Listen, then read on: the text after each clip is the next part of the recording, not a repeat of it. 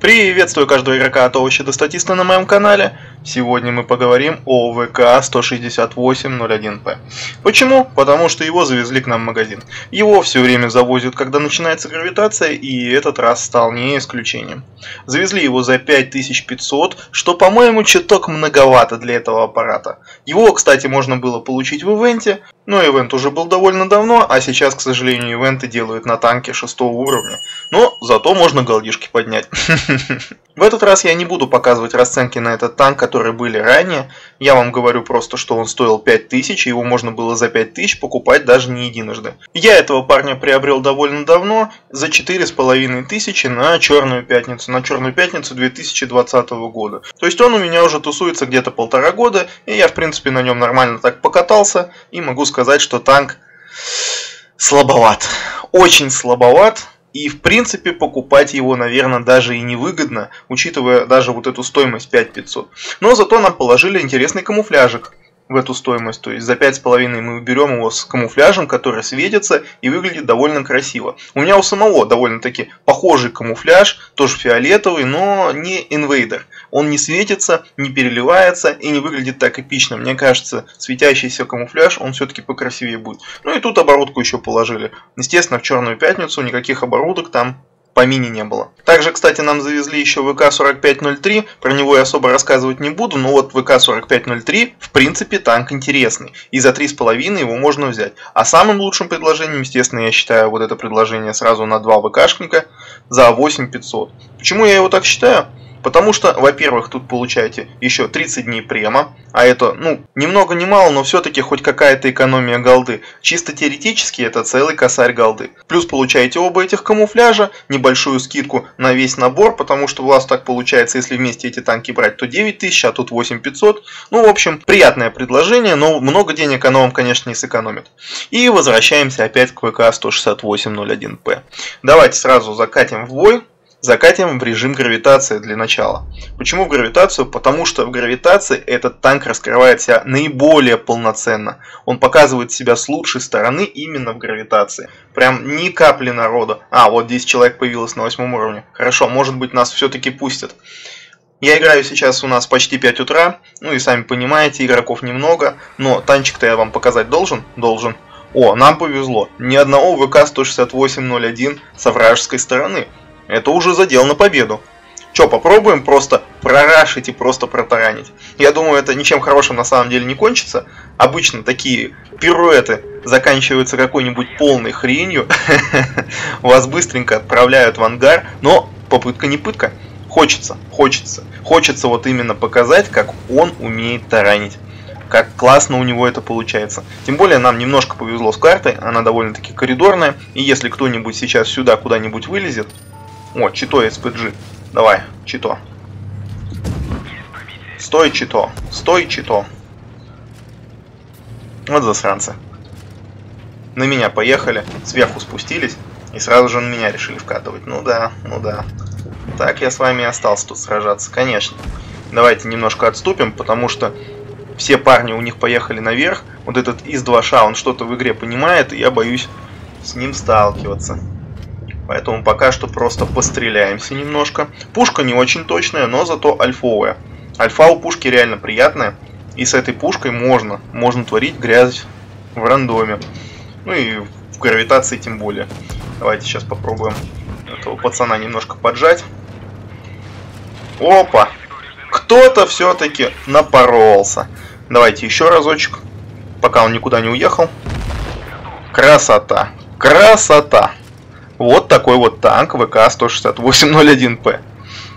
Поехали, теперь заберем. Там у нас остался КВ-4. Этого пацана тоже будет довольно легко забрать. Ну и льва, кстати, мы, может быть, успеем покрошить. Если повезет. А где у нас КВ? КВ, ты где? КВ, не бросай меня. А, он уехал туда. Ну ладно, поехали за львом. Поехали за львом, прям ворвемся прям сверху, вот так вот, по опаске. На тебе, дружище. Куда ты там собрался? Да ну что вы делаете? Вот то, что в рандоме вам никто не помогает, это, конечно, удручает. Прям реально удручает. Хочется-то вмазаться как следует, а получается, что вы вмазываетесь, ну так, слегка. легким касанием, как говорится. Ладно, поехали за КВ-4. Видимо, не зря я о нем думал. Хотел, думал, нагадал. Стреляем просто на рандом. Естественно, с нашим разбросом это почти нереально. Куда ты поехал, дружище? 515 мы ему закидываем и проезжаем чуть-чуть дальше, чтобы нас не убили. Все, его кто-то там добрал. Просто там сухарь стоял, я не хотел под него подставляться. Так, ну и что? Едем за сухарем. У нас остался сухарь. И не поверите, АТ-15. АТ-15, кстати, опасный парень. О, сухарь на стоковой пушке. Ну да, ну да. Еще и подлет использовал. Это ты зря, друг. О, до свидания. До свидания. Ну вот как-то так. То есть ВК-168 что-то из себя представляет в этом рандоме. У нас победа. Мне кажется, изи. 4683 урона и 2000 с половиной тараном. То есть вот, именно в режим гравитация, именно в гравитацию, его нужно выкатывать. Хорошо, тут все у нас прекрасно получилось, давайте Давайте еще один бой закатим в гравитацию. В этот раз сыграем так более-менее аккуратно. Постараемся, ну, не лезть на рожон там. Хотя, ну, вот видите, иногда тактика лезть на рожон как раз таки срабатывает лучше всего. Я просто поехал, просто даванул. Ну, там немножко спрятался, правда, от ИСа. Но, тем не менее, просто поехал, просто даванул. И, в принципе, все отправились в ангар довольно-таки быстро. Главное выбрать цель, которая отделилась от основной стаи, от основной группы. Ну, то есть, если расценивать танки как какое-то волчье логово, то вот когда кто-то из волков остался позади, вот на того и надо нападать. Иначе они вас просто загрызут целой стаей. Давайте поедем в эту сторону. М-м, карта тут довольно-таки плохая для нас. Здесь будет сложно кого-то взломать, потому что уехать можно практически и направо, и налево, и куда хочешь.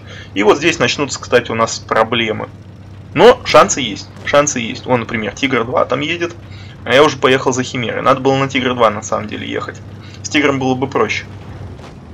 Давайте Химере по жопе сейчас дадим. Не дадим. А Тигр 2, кстати, туда поехал. В воздухе стрелять, конечно, на нем это то еще удовольствие. Практически нереально попасть. Ну вот, я вам вас заверяю, прям почти нереально. О, Тушкевича. Вот Тушкевича это наш клиент. Он тем более смотрит куда-то хрен знает куда. И может быть, может быть, мы успеем до него доехать. На тебе. Даем ему одну плюшку, для того, чтобы его было проще заловить. Ну и в гусеницу его долбасим. Он сейчас разворачиваться будет 30 лет. Мы успеем сами развернуться и докинуть ему еще один снаряд. Все, забрали. Забрали Тушкевича. Так, Светляк это, конечно, проблема. Его я хрен догоню, поэтому поеду, пожалуй, за другими пацанами. За кем-то повкуснее. Давайте за Вазиком съездим. Ну, в принципе, кстати, не так уж плохо получилось. Может, просто утром какие-то рандомы тупые играют. Давайте плюшку попробуем закинуть. Ну, видите, разброс настолько адский, что вы просто не попадаете. Я думаю, он сейчас улетит. Ну, далеко не улетит, конечно. Все, давай, дружище.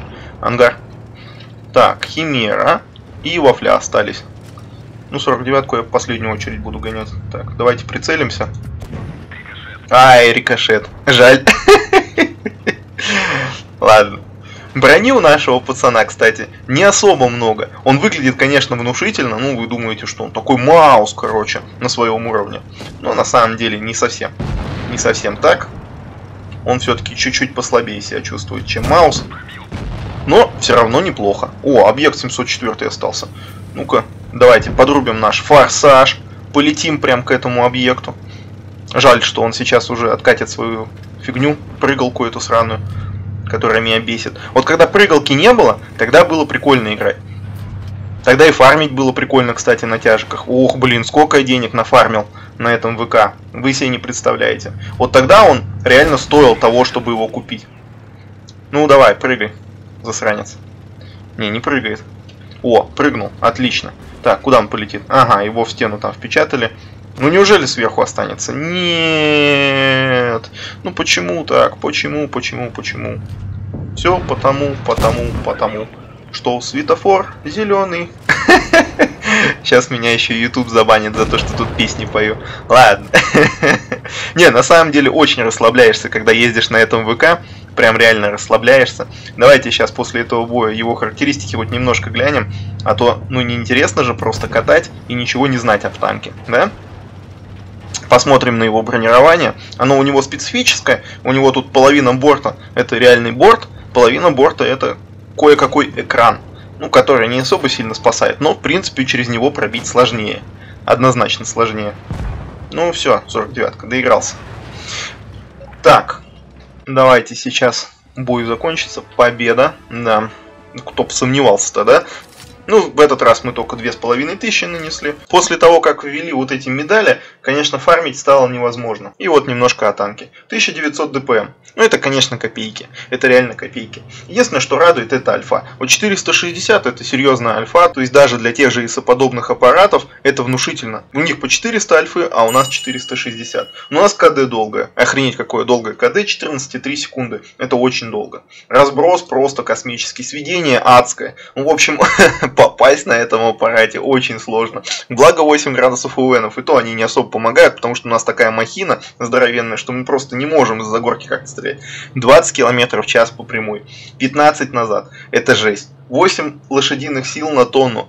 Это очень жестко. Реально очень жестко. Он вообще не едет практически. Нет, есть, конечно, лев, у которого все похуже. У него там 7,3. Вот представляете, как едет лев? Или представляете, как едет КВ-5? Вот примерно с такой же скоростью тащится ВК. И то, мне кажется, он как-то немножко медленнее это все равно делает. Вот не знаю по какой причине, может из-за низкой максималки, точно, скорее всего из-за низкой максималки. То есть он выше двадцатника, он свой двадцатник берет, а выше двадцатника подняться не может. Вот, допустим, тот же КВ-5, он может свои 40 выдать. Ну, чисто теоретически может. Из-за этого он едет, ну, вроде как быстрее. А этот парень нет. Выше двадцатки вообще никак. Ну, только может с горки какой-нибудь. Ну и, естественно, у нас очень много хп, 1950, это практически максималка на восьмом уровне. А по проценту побед у нас все не очень хорошо, но и я бы не сказал, что прям совсем печально. 51% это, конечно, не предел мечтаний, но это лучше, чем у Льва и даже у КВ-4. У КВ-4 вообще страдалец. А вот у КВ-5 после поднятия бронирования как раз таки все стало очень хорошо. Он реально броня. Давайте еще посмотрим на бронирование. И пока что я запущу обычный бой. То есть пока мы там грузимся, мы как раз и рассмотрим бронирование. Вот тот экран, о котором я говорил. Ну, как бы экран есть, он небольшой, но приятно, что он вообще есть. Здесь борт бьется легко, танковать от борта можно вот только под каким-то таким углом. Здесь вот этот кусочек простреливается вообще в легкую. Вот здесь щечки на голде стреляются тоже в легкую. И башенка стреляется, конечно же, тоже в легкую. Так, и у нас бой начался. Поэтому поехали смотреть, что у нас тут. О, попали на коридорную карту. Немножко нам повезло. Ну вот, вот, 20 км в час, то, о чем я и говорил, вот мы как набрали эти 20 км в час, вот так мы и тащимся. Если бы ему максималку подняли хотя бы километров до 40, то этот танк бы игрался намного лучше. Прям реально намного лучше. Потому что он, в принципе, до 40 бы разогнался. Да, со временем, там не быстро. Ну, он такой неторопливый парень. О, смотри, что-то танкуем. Приятно. Только мы выкатываемся вместе со всеми парнями. Но мне объезжать вокруг это вообще какой-то ад. Поэтому я просто хочу закатить на ИСа. Надо выждать, пока морковка отстреляется. Так, ИС отстрелялся, морковка отстрелялась, все. Надо выкатываться. Надо выкатываться и забирать этого засранца. Так, давайте. Таранчика немножко применим нашего фирменного. 250 получаем. Это интересно, голда была или он выцелил там? Давайте посмотрим. Куда он там попал? Не могу посмотреть. Боюсь. В башенку попал. Ну, видите, башенка простреливается вообще в легкую. Так, пацаны, вы так встали, что мне вообще не выползти. Ну вот наши 8 градусов у Венов как бы, но мы очень высокий, очень высокий танк. Давайте проедем, не будем мешать парню нашему забрать этого пацана. Хотел не мешать и в итоге, по-моему, помешал. Кстати, раз у меня есть ускорение, давайте попробуем ему этого затаранить. 20 км в час, есть. Давай. Серьезный аппарат. А, это смешно. Блин, не смог выцелить его как следует. Ну ладно. Ой, слушайте, наши победили. Да чё ж так быстро-то? Ну это вообще прям чудеса какие-то. На самом деле аппарат ну такой себе. Ну, то есть вы видели. Я все время пытался доехать до кого-то. И мне постоянно не хватало скорости. Со сведением проблем не было, ну потому что мы дрались практически вблизи, вот прям нос к носу. Если бы это была какая-нибудь рельефная карта, а не вот такая коридорная, было бы проблем намного больше. Давайте еще один бой в простом рандоме закатим, ну для того, чтобы понять, как это будет играться все-таки в рандоме. Будете ли вы его выкатывать в рандоме или нет? То есть вообще он что-то из себя может показать? Ну, я даже не доехал. Банально не доехал. Вот я пока есть бой проходил, я просто ехал, ехал, ехал, ехал, и что-то там у меня получилось настрелять. 900 урона, охренеть. Вот какой я полезный. Давайте еще разочек заедем. Ну, а то вообще как-то грустно. Давайте пока загружается, еще разок взглянем на броню. Сзади у нас броня кое-какая есть. Этого не хватит ни одному аппарату для того, чтобы фугаса нам закинуть, кроме разве что каких-то реальных жестких фугасных монстров. Да и то будет им сложно. В принципе, ну не фугаса приемник. Но вот если бы этот скворечник подзашили, и вот здесь вот шапочку еще сделали немножко поменьше, он бы, может, танковал намного лучше. А так, сейчас, ну, такой себе аппарат. По броне довольно-таки посредственный. Есть броня получше. Тот же объект 252 УУ. КВ-5 вообще эталон брони. Вот реально, из крупных танков, из массивных танков. Ну, он, не знаю, относить его к супертяжам или не относить ну, плюс-минус супер тяж, да? Вот. У него брони охереть как много. Слушайте, плохо, очень плохо. Там сейчас вафля приедет, а у нас тут все картон, блин, по вафли. Вот она будет пробивать нас 10 из 10. Я не знаю, куда мне тут спрятаться. Буду потихоньку ехать, ну, скорее всего, я сейчас огребу. Огребу как минимум на 600. Слушайте, не приехал что ли? Да ну нахрен. О, какой сочный вертухан по Борщецкому. Ну, чисто по приколу кинул. Я думал, что они там стоят, но не думал, что я не засвечусь. Ни хрена себе. Вот это удивительно. Ну, просто аппарат сам по себе здоровенный. И то, что он не засветился, это, конечно, чудеса. Мы все еще едем. Я вам напоминаю, что я вообще не останавливался. Я вот как ехал, так и еду попробую сейчас, наверное, обрадовать 252-го или, может быть, Йоха. Хрен его знает, кого тут лучше радовать. Наверное, Йоха лучше порадую. А то Йох на последнем издыхании, может его получится забрать, пока он три снаряда мне не засандалил. А то он меня сейчас будет вообще пробивать без проблем. И не хотелось бы от него получать лишний раз. А, давайте, наверное, вот по этому парню кинем. А на Йоха поедем таранить, что ли? А, его забрал из третьей. Замечательно. Ну, просто урончика хотелось срубить побольше в этом бою, показать, какой будет фарм у вас в рандоме. Ладно, давайте этого пацана заберем, потому что у нас КД очень долго, и я вряд ли успею до кого-либо доехать, пока у меня КД идет. А, тут Эмилька еще пасется. Давайте к Эмильке съездим. Попробуем, по крайней мере, съездить. И там еще Вафляцкий. Вот Вафляцкого бы стрельнуть, а? Вафляцкого не получается. Так, 54-ка, еще 54-ка. Так, ну-ка давай, парень. Опа. 475 мы ему загружаем. Он должен пригорюнить немножко. Но он все еще пытается нашего Е75 разобрать. А чего вы так на Е75 согрелись? Пацаны. Давай, С3, я в тебя верю. Бросаю наших пацанов. Потому что если я не поеду туда, я не успею вообще. Вафлянский, нет. О, кто-то без подбоя ездит. Ну, это вообще супер. Поехали, поехали, поехали, включаем форсаж и двигаемся 21 километр в час. Вот это разгон, вот эта скорость. У меня прям какие-то ощущения, что я на скоростном болиде.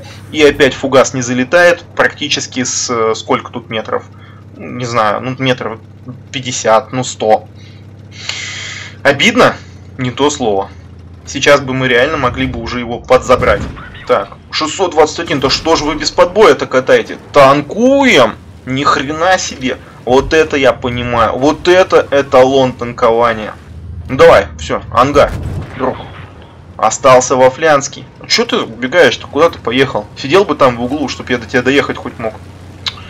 Ну все, меня тут все обгоняют, все убивают, это бесполезно. Ладно, проеду, конечно, чуть-чуть попытаюсь, но бесполезно, как я и сказал.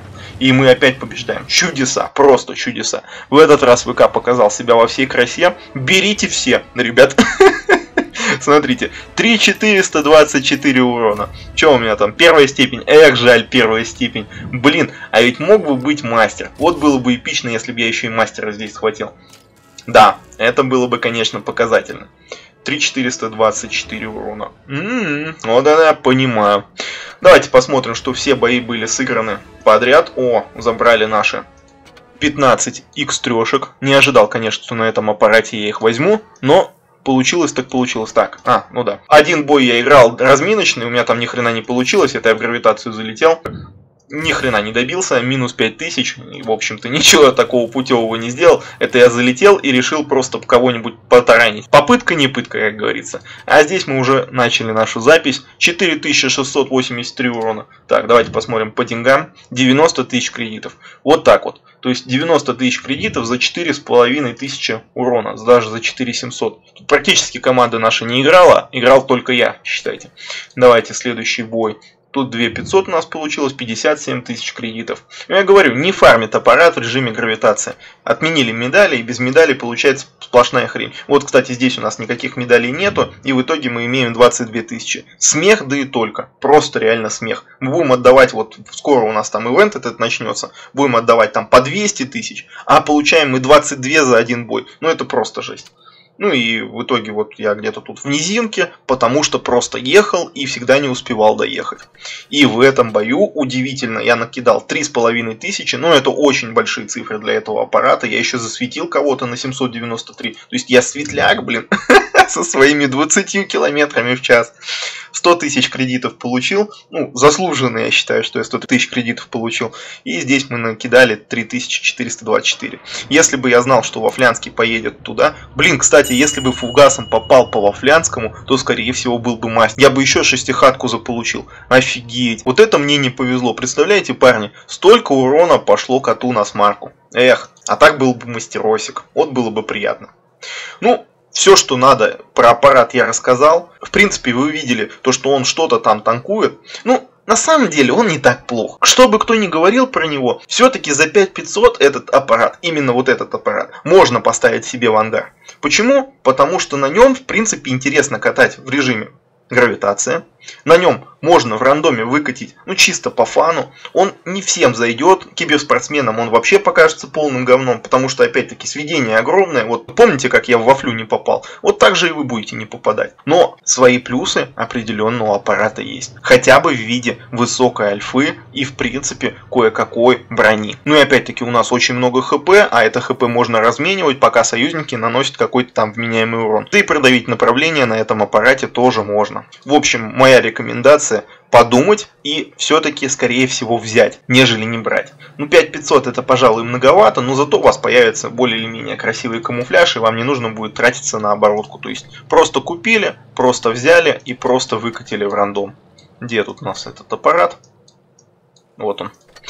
Сразу могу сказать, что таран на этом аппарате это ощущение неповторимое. Но с таранами сложно, потому что все прыгают, бегают и в общем попасть по кому-то это реально проблема. А еще у нас низкая максималка и это бесит.